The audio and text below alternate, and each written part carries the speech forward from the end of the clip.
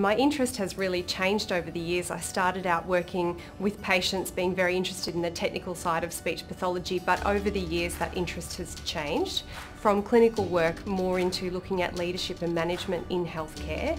So the reason I'm undertaking the program is to further my career in uh, taking roles that are more broader I suppose than a clinical role.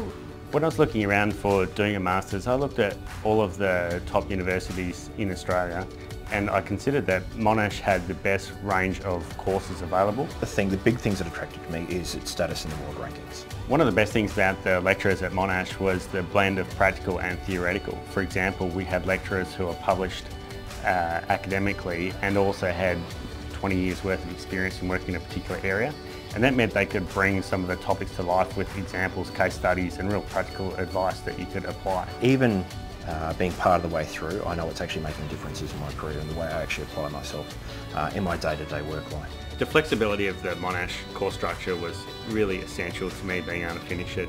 I was helped a lot by my manager who had completed the Masters of Management course at Monash and really gained a lot from it. She really grew a lot professionally and spoke very highly of the program and recalled all of her experiences quite fondly. It helped me to look a bit more closely at the program in terms of that career path of someone who had gone before me, who'd had that good experience. Monash is a really fantastic university. Globally, it's, it's one of the biggest management universities in the world and uh, I feel a lot of people in Australia don't understand that.